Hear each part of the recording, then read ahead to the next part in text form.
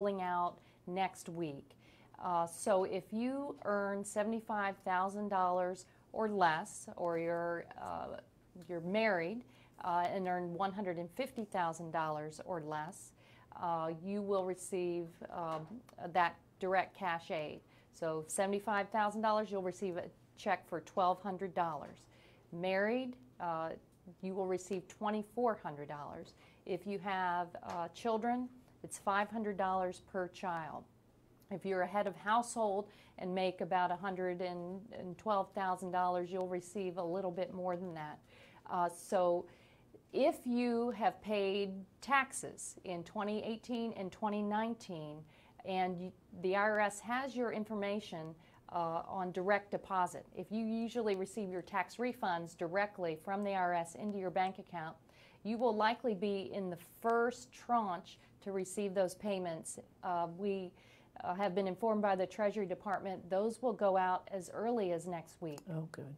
Uh, then addition, additional payments will roll out over the coming weeks. We are pressing the administration to get them out as soon as possible because folks are really in the lurch. They need this cash assistance to, to weather the, the tide here. Uh, if your only source of income is Social Security, so if you're retired and Social Security is your main source of income, you will also receive the $1,200 cash assistance payment if your overall income is $75,000 or less. Uh, Treasury had uh, put out uh, an advisory last week that Social Security recipients would have to go and file a tax return. Many Oh, of them okay. don't. Uh, but we pressed the Treasury Department so that they rescinded that guidance, and now Social Security recipients will not have to file any additional paperwork to receive that direct cash assistance. Uh, but it will take a little bit longer. Don't look for that in uh, accounts or in the mail over the next couple of weeks. It's likely to be uh, take a little bit longer. Then there are important uh, important initiatives for small business owners, and of course, unemployment insurance that we can talk more about. Okay, and that uh, brings up one of the other questions. So, if you didn't happen to file your income tax, say in 2017, 2018, so they'll need, individuals will need to file an income tax return. They can do that in order to get this stimulus check? Yes, typically, Okay. uh, if you have, if you filed your taxes in 2019 uh, or this year, uh, or I believe 2018 too, they have your information and they will they will send it out. But we this is new. They, we've never Alright. done this before. Uh, so I want folks to feel comfortable in reaching out to my office. If you do not see that cash assistance in the mail by mid-May, uh, if you haven't received it, call and make sure. You can also go ahead and update your information with the IRS on direct deposit on your, your bank account if you feel comfortable doing that. And that may just speed that cash, cash assistance payment to you. And then, real quick, is just a, a reminder to our viewers that no one from the IRS will call you for information. Anyone that calls you about the stimulus checks that says you can get one quicker if you give them your information, or they're from the IRS and they need your information, hang up immediately. Any emails on that topic, just delete because you should be contacting the IRS. There's going to be a lot of scams out there, and uh, they've already started. So let's talk about small businesses. What are the new small business loans that are funded and authorized by Congress to help small businesses during this time? Yeah, this is entirely new as well. The first is the Paycheck Protection Program that is available to small businesses of 500 employees or less, but sometimes if you have different locations, uh, you'll be able to qualify for those loans as well. What is unique about these uh, loans is that if you keep your employees on the payroll and keep them connected to your business, keep paying their health benefits, that these loans will turn into forgivable grants, outright grants to you, because we know that this uh, COVID 19 pandemic is unlike anything we've seen before. And you're being directed to, to stay home, and A lot of businesses ha- have had to close up shop temporarily, and this is really hard. Uh, so we're trying to get money to you to, to weather the storm. Paycheck protection, you, it's important for you to work with your lender, your bank. A lot of the businesses that have a, a loan already with certain local banks, that's going to be your best avenue to get, uh, to get help and assistance. Uh, I know it's not perfect out there. I'm hearing from a lot of our friends and neighbors who say, but my, my lender wasn't ready to go. Mm. Remember, this, this initiative just launched over the past couple of days, and it's going to take a little bit of time to sort through it. Uh, these, the banks are going to have to get up and running. A lot of them are working at home as well. So be patient. I know it. I know it's difficult. There are also emergency disaster loans available. And the best resource we have here locally is the Small Business Development Center at USF. Eileen Rodriguez and mm-hmm. her entire team there can help walk you through the options. There are also emergency bridge loans that the state of Florida has available. But uh, I know folks have a lot of questions. It's very important that you gather all of your financial information together and check in with the, the SBDC, Tampa Bay Small Business Development Center at USF. They're a terrific resource to walk through all of the options. I have a toolkit on my website as well. That might be a good first stop at castor.house.gov. But we're all in this together, and we we want to help connect you to the right resource. Mm-hmm. And um, I know a question that I've heard a lot are for the businesses that you know have had to lay their employees off right away. Restaurants is a, a restaurants are a great example. Um, if they hire those employees back, then this can turn into a grant, correct? So That's correct, Mayor. Yeah. The, um, and this could be a lifeline for a lot of our small business owners mm-hmm. because they have put their heart and soul into their businesses. They're, they're loyal to their employees. I've talked to a lot of right. them as well, and it's just gut wrenching uh, what they're going through right now. So we, we want to help, and that's the intent of the CARES Act to get resources, whether it's the cash assistance directly or it's these small business loans that can turn mm-hmm. into grants uh, or or the unemployment insurance. That's that's the aim to get the money uh, back home here as quickly as possible. And with the small business loans, 501c3s are included in that that category, correct? Yeah, let's talk about that because okay. that is entirely new. Uh, for the small business loans and for unemployment insurance, they've never been open to uh, gig workers, mm-hmm. uh, self employed. Uh, has not been open to nonprofits, the 501c3, so there are probably churches out there, but a lot of the nonprofits that are the essential safety net for our yeah. wonderful community. I mean, the, Tampa is a generous, thoughtful, and caring community, and one of the reasons is because of our nonprofit organization. So, yes, they qualify. Good, good. That's great information. Um, what student loan relief is available, if any? Yeah, this is a, another tough one. Uh, but we've, uh, we know that students will have a very difficult time paying their student loans. Uh, so the CARES Act uh, suspended payment uh, for student loans through September 30th. If this goes on for a while, we may have to come back mm-hmm. and do more. The CARES Act also lowered the interest rate to zero on these loans. So if you want to pay, uh, if you have the ability to pay, keep paying, and that's that's fine. But uh, for a lot of families, it's going to be very difficult to afford that student loan payment. So you now have forbearance until September 30th. And the CARES Act also had a major pot of money for our public schools, so Hillsborough County Public Schools. I know you had our great yes. new superintendent mm-hmm. on. So a lot of the funds now that that they have for technology, for nutrition, so for the free lunch and breakfast. It's being uh, delivered mm-hmm. at schools and then delivered via bus routes.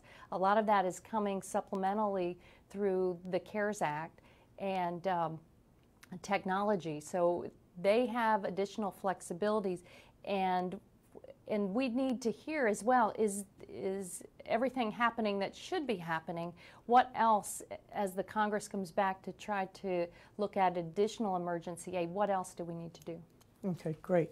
Now, uh, what should veterans know? Is there anything about the CARES Act? yeah the, the Tampa is rich in, in veterans, and we love them, and the same goes for our service members out at MacDill Air Force Base and SOCOM and CENTCOM.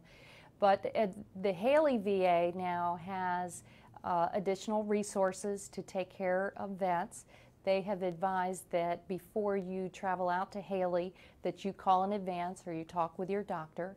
Uh, they are going to do some testing on site, uh, so you might be directed there. But um, we have the best VA hospital in the world. Uh, the providers there, the caregivers, are top notch. Uh, but the resources will be there if you need them. And if, if you add in the uh, first uh, emergency aid package and the CARES Act, uh, no one out there should have to worry about the cost of testing. So if you have symptoms of COVID and you you're uninsured or mm-hmm. you are insured, Medicare, Medicaid, VA, uh, TRICARE, there will be no co-payments. So do not be deterred from picking up the phone and calling the doctor or the community health center to say, I have symptoms, I think I might need a test. There will be no cost and charge to that. And we're going to work to make sure that all treatment for COVID is covered as well. Mm-hmm. Good, good. And remember that that um, number for Hillsborough County for the testing that, that is ongoing now is 813-272-5900. And we just received another 10,000 collection kits. And so uh, Hillsborough County EOC is looking at opening different locations in the Hillsborough County to be able to uh, to test. So that's good. So speaking of Medicaid, what would expanding Medicaid in Florida mean during a time like this? This is a, a very important question. You know, the, the state of Florida, um, folks in Tallahassee are not serving uh, the state as well as they could be. And one, it's really going to show during a public health emergency like this, a pandemic, where you have the unemployment insurance website crashing because it was intentionally yeah. built to be a deterrent to helping folks. It's almost the same thing with health services under Medicaid. The state of Florida is one of only 13 states in the country that has not expanded Medicaid to the, the hardworking, uh, folks who do not have private health insurance and they make uh, too much money to qualify for, for other health services. So, what this means is that we're paying our billions in tax money, sending it to Washington, and just letting it sit there, or it goes to other states. And what that has left is about 800,000 Floridians without insurance, without Medicaid health services. And that's costing us billions and billions of dollars. That's our tax money. We should be bringing it home. This would help our hospitals. Uh, this would help our doctors, our nurses. The most important takeaway is that people should have health coverage. Mm-hmm. Great that we're paying for testing, great we might cover treatment, but in the end, we need to work towards universal health coverage uh, whether that's the, the Medicare for all debate or the uh, public option, at the very least, we should be expanding Medicaid and bringing our tax dollars home. Then, what that does over time, you have a healthier population and you're uh, more able to respond to a pandemic. We're going to make sure that the resources flow through Medicaid, but if the state of Florida doesn't take them and put them to work uh, for our families, then, then we're in a world of hurt. Yeah. So, where can our neighbors and families find more information about um, the relief? So, you said it. You want to repeat your website and then some of the others that that I may think be you'll available. like it. It has kind of a ring to it. uh, castor.house.gov. Uh, there are resources online there. I have a, a family toolkit. It, it, goes over, and then I can't for our small business owners. If you're self-employed. Uh, gig worker wait go to the SBDC Tampa Bay Uh, they'll have some, they've got some great information as well. They are very busy, but they have a, uh, a just a crack team that is ready to help. They know this community. They can work through all the nuances. Mhm, Good, good. Okay, it says, uh, this is from Charlie Frago at Tampa Bay Times. Can Congresswoman Castor give any indication of how likely it is for cities under 500,000 to get direct aid in future stimulus measures? Yeah, we're working on that right now, and I think it's it's fairly likely because there are a lot of us around the country that are uh, in agreement that that needs to happen. But uh, right off the bat, the through the what the CARES Act set out through the state and local stabilization fund was 150 billion dollars to go out across the country. We estimate the state of Florida should receive about eight billion dollars. Hillsborough County will receive a sizable chunk as well. And they should be in coordination now with cities like Tampa and other municipalities across the state to help them, to partner with them. I mean, the city here is laying out a lot of resources mm-hmm. and expending a lot of funds. Now, they will get paid through, um, just like a hurricane had hit, through their FEMA disaster loans, and that will be a lot of money. They will also get money through revenue streams that already exist, like CDBG, that came through for the city of Tampa last week 3.5 million, Hillsborough County 6.3 million. They will also continue to receive additional grants uh, for housing, for homelessness. Uh, so it's not like they didn't read the the city of Tampa is not receiving anything, but boy, it sure would be nice to receive some of the stabilization dollars that are the most flexible and can be put to work right away. Yeah, that um, would be wonderful, and, and we are certainly fighting for that. If they used uh, the previous census information, there would only be 33 cities throughout the United States that fit that half a million population. But I've been told that they're using estimated uh, census data, which I'm sure raises that number, but I don't think includes any cities in uh, the state of Florida, with the exception of Jacksonville, which is a city county um, consolidation. So here's a question from M. Woods on Twitter. It says, Will first responders be tested? And if so, when? So right now, we are testing uh, first responders that are exhibiting symptoms. But as I talked about on, on uh, one of our previous programs with Dr. Lockwood, we talked about the antibody testing, and that we, we talked about how uh, COVID is, is uh, so easily transmitted, but also the fact that in a lot of cases it's silent. So you can have it and be spreading it to others and not even know that you have it. And so, what we want to do, we have ordered uh, antibody tests for all of our first responders, medical personnel, so a number of frontline workers, all of our, our city workers that have to be out there on the front lines. So we've ordered those, and we're going to give those to all of the, the um, frontline uh, essential workers. And if it comes back that they have had COVID and have already gone through it without their, own, their knowledge or any symptoms, then they will be immune and they'll be able to, to work uh, helping our citizens and especially in the healthcare uh, workers. They'll be able to go into the hospitals and into these uh, areas to care for high risk patients. So that really will be um, a blessing for us. But we have been testing first responders as necessary. One of the things that's interesting is with our paramedics uh, and firefighters is that they come in contact with so many individuals that have communicable diseases that um, there's a theory, not proven, that they have a, a much uh, stronger immune system to different types of, of uh, communicable uh, viruses and diseases. But we're definitely looking out for all of our essential personnel because they're the ones on the front line uh, getting it done every single day. So, very happy about that. Let's see, says this is from Sarah Marvel. Says, when everything opens up, will it be all at once or a layered reopening? I say we cut the ribbon and just open it up.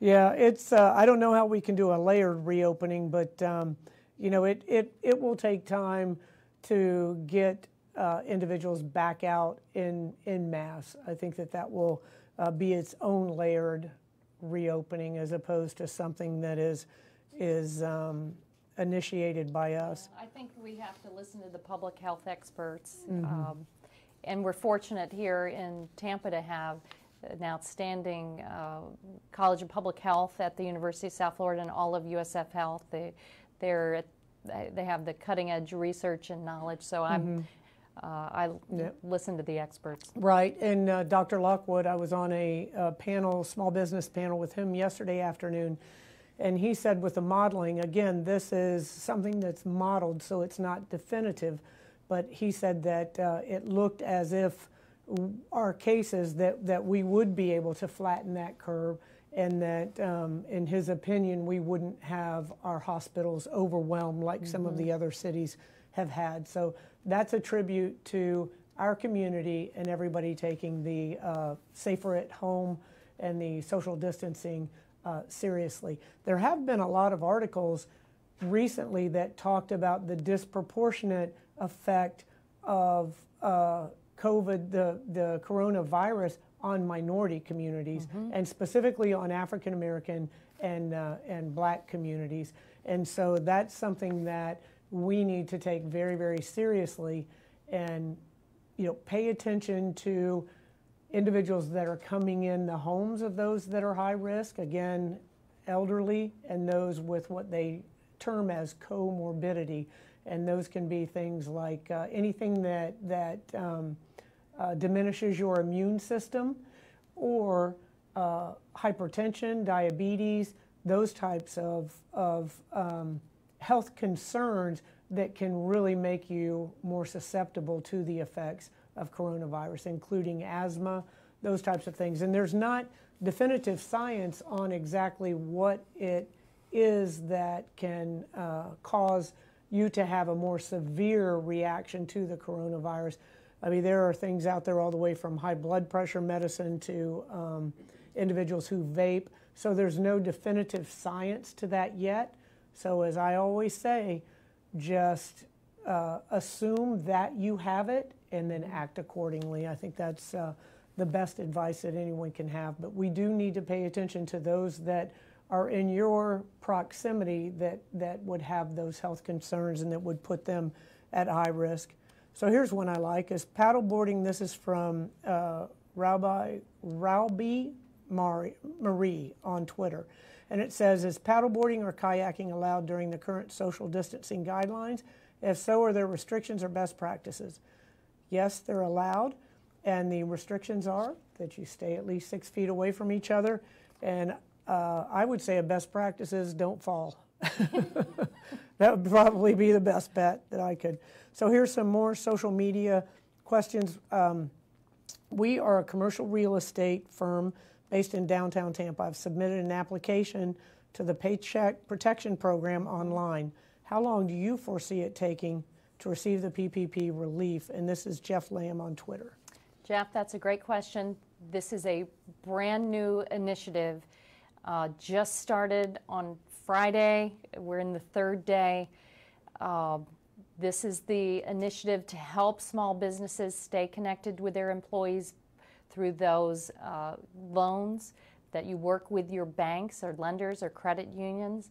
And if you keep your employees on, they will uh, turn this loan into an outright grant to help you weather the storm of this public health emergency. We do not know how long it is going to take. It is the intent of the Congress that that money speed out to small businesses all across the country.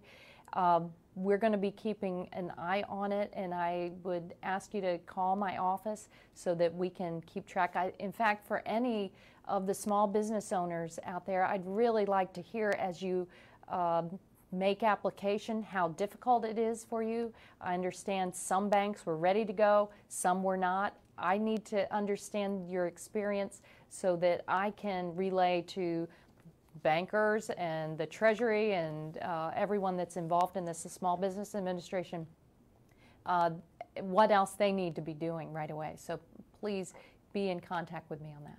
Excellent.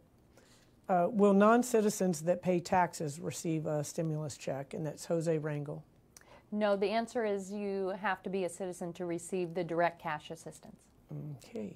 Um, so is Representative Congresswoman Kathy Castor and others proposing massive per capita block grants to states as their multi-trillion dollar bailout, and that's from Brian Schatz on Twitter. So usually when I hear the term uh, per capita block grants, that's in the context of Medicaid health services. Uh, so we have, when it comes to to Medicaid, we have now provided the state of Florida a higher matching rate. So they have to take advantage of that through their the federal state partnership and pr- provide the health services. When they do that, they will get more money. If you mean the new state and local stabilization fund, that $150 billion that will go out to states and local communities. Uh, that is a new one time public health emergency stabilization fund. We talked about that, how we want to get it, uh, some of those flexible dollars down to communities that, like the city of Tampa, that have a population of 500,000 or less. And, and I'm hopeful that we will do that. But this needs to happen right away, and the state of Florida uh, needs to work with the city of Tampa and other cities, as does Hillsborough County, uh, because we're all in this together. Amen. Um, let's see. Will an update be given on what number someone is on in the wait list to process an unemployment application? That's Maddie on Twitter, and that's a, a state uh, question. And I know that they're working on that system for individuals to. Uh, Can we talk about sure. unemployment, though? oh, that'd be great. Because um, I'm very concerned that because the state of Florida is the stingiest in the entire country when it comes to unemployment insurance, uh, it's going to be a much tougher climb for us out of any recession and recovery. Right now, the state of Florida provides 12 weeks of unemployment compensation if you lose your job or you're fur- furloughed. Most states provide 26 weeks. Uh, the state of Florida provides $275 per week. Most states are far beyond that amount. In the CARES Act, now what the Congress did was uh, say, okay, states, we're going to give you and each uh, unemployed worker an additional $600 per week for four weeks to help get us through this public health emergency. The state of Florida hasn't fixed its system, though, to make that work for people who are newly unemployed. We also said, okay, gig workers, self employed, you now are eligible for unemployment insurance before you, you, were, you weren't. The state needs to fix that. They're not letting people actually apply yet, even though we've said, here's the money.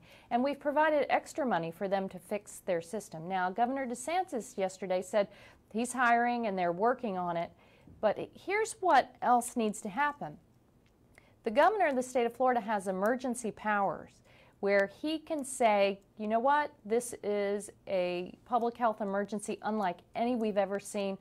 I will raise the uh, wages, the allowable wages from 275 a week. And in fact, I'll extend the weeks and I'll, I'll match what most states are doing now, and I'll go to 26 weeks, and that way, that federal money on top of that will really be meaningful.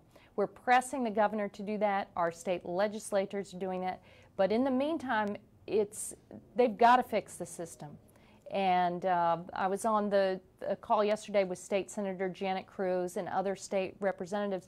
They're so frustrated now. They're printing the unemployment insurance application and leaving them outside their offices for people to pick up, fill out, and mail in because the computer system is down and it's broken. That's not acceptable. And we're going to have a much tougher climb out of this emergency unless they get it fixed.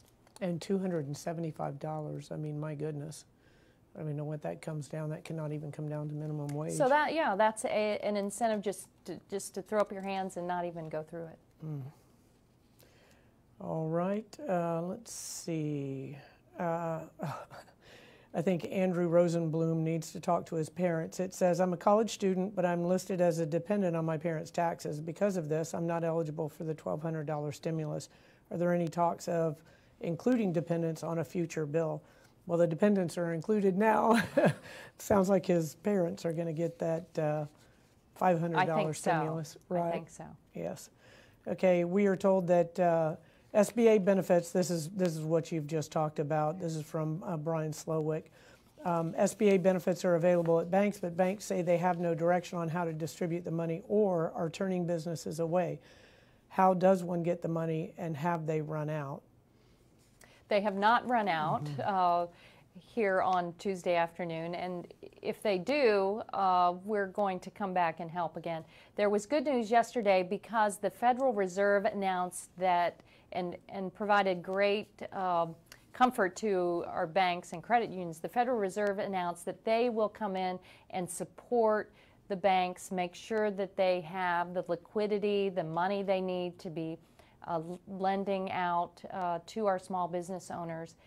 Uh, the Treasury Department this afternoon um, issued additional guidance to banks. So many of them at the end of last week uh, were, were unsure what to do, but they are receiving additional guidance.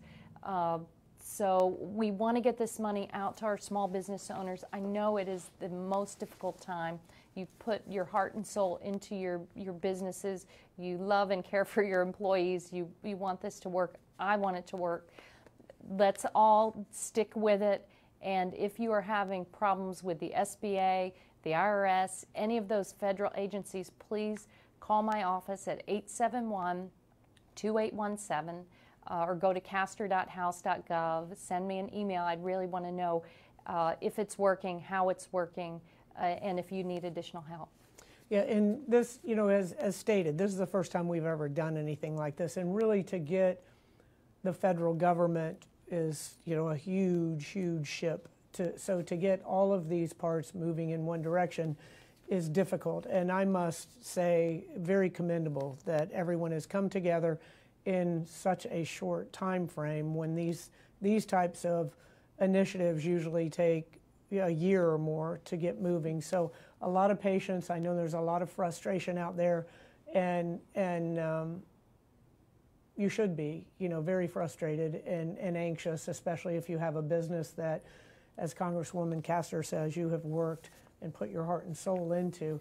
But know that we're all working together to answer these questions and to try to uh, fix the glitches. And tomorrow we'll be having a expert, small business expert, uh, on the show to help out answer Great. questions as well.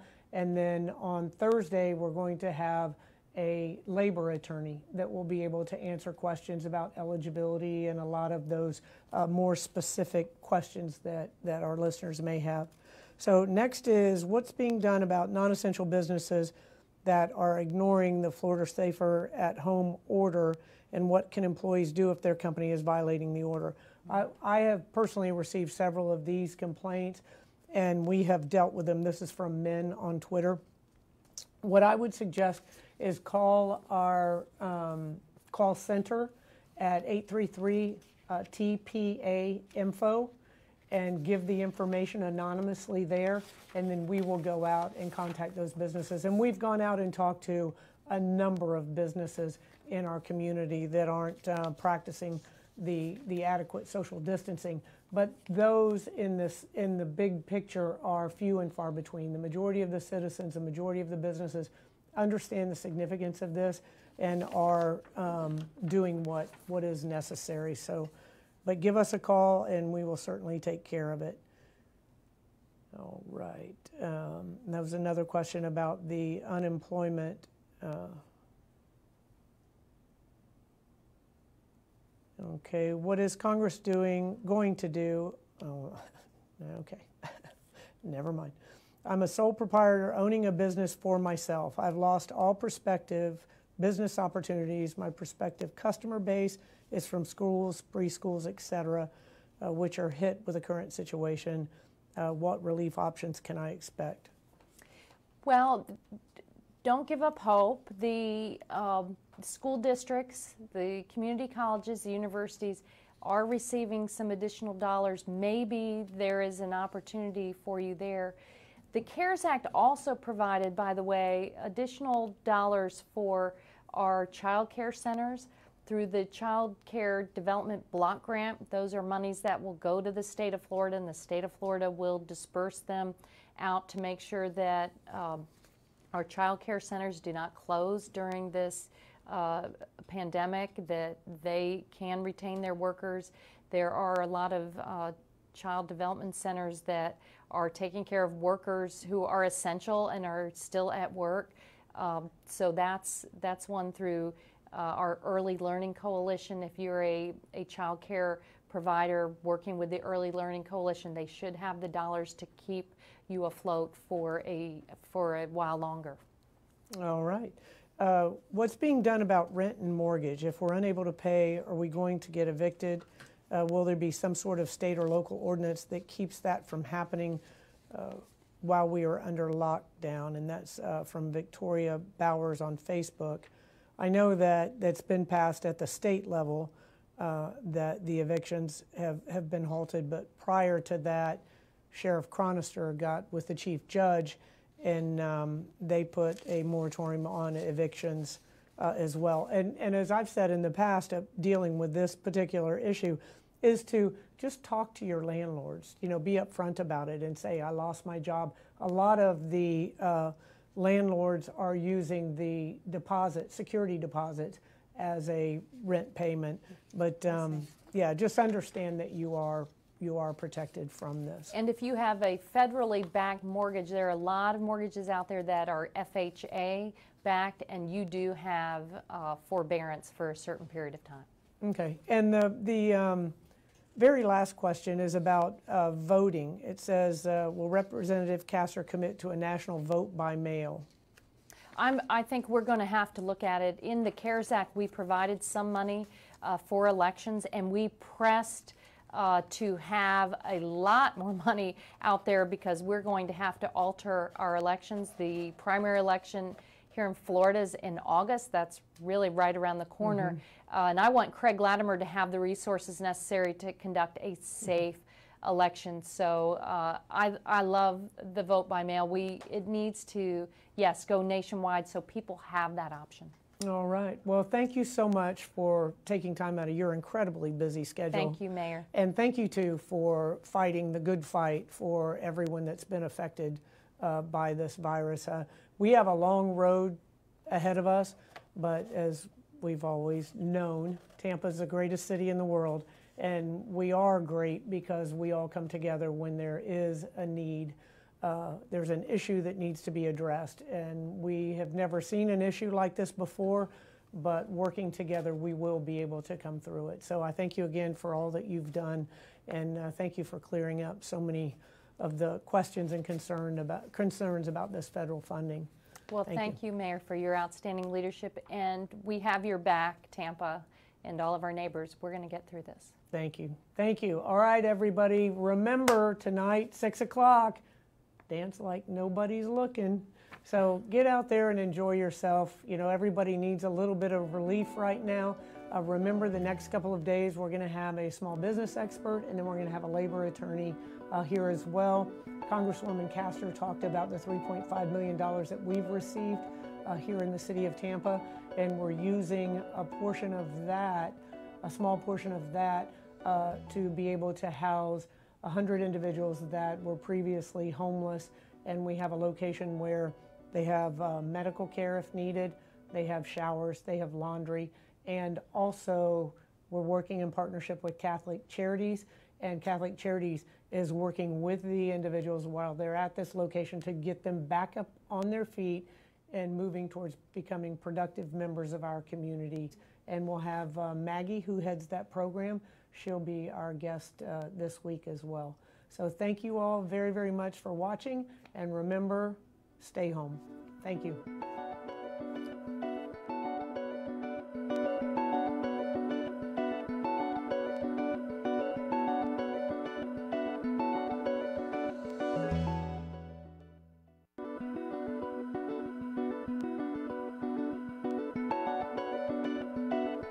This was the third confirm, confirmed death of coronavirus in Hillsborough. And our thoughts and prayers go out to